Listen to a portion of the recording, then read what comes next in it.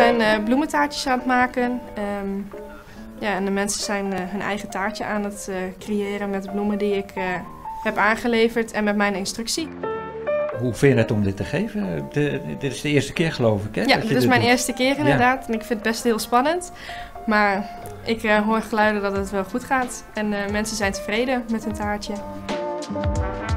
Ja, ga je dit vaker doen in de toekomst? Zeker. Straks met kerst komen er heel veel workshops aan. En ik uh, wil straks gaan proberen om sowieso één keer in de maand een workshop te geven. Of het nou in mijn eigen bloemenwinkel is of ja, op een andere locatie.